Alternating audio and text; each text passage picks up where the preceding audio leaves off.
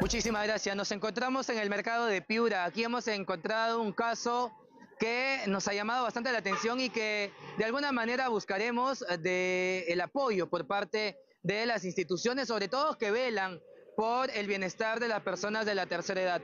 El caso que vamos a presentar es de la señora Isabel, de Cha- Chabelita le dicen de, de cariño.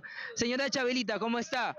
Bienvenida a TV Perú, cuéntenos. Usted está todos los días aquí en esta parte del mercado. Sí, pero yo vengo, yo no puedo hablar, no puedo hablar, no puedo hablar, no puedo hablar, ¿Ya? no. Y aquí que le dan, le dan un apoyo las personas. Sí, me da eh, solcito, un solcito, dos solcitos, a veces me da, yo yo vine acá y me cae, de, en vez de con la fiesta me trae como 200 soles.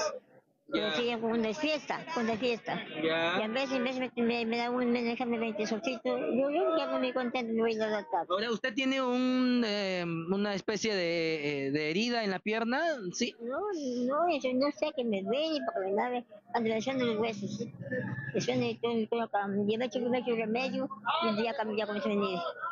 Y ahí me vengo, y ahí ya me necesito, ya me, me echo remedio y me vengo a venir. Ahora, señora Chabelita, ¿usted tiene familia? ¿Tiene hijos? No tengo, no tengo, no tengo hijos, tengo eh, dos sobrinitas. Un sobrino, una sobrinita.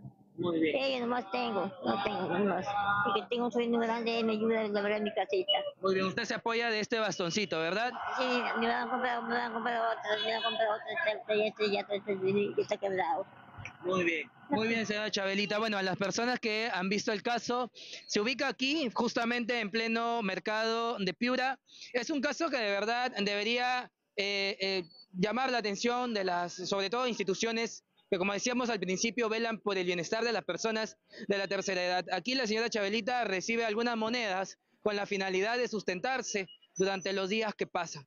Igual dejamos abierta la posibilidad de que se sumen algunas instituciones y podamos apoyar a esta persona de la tercera edad. La información que tenemos aquí en Piura.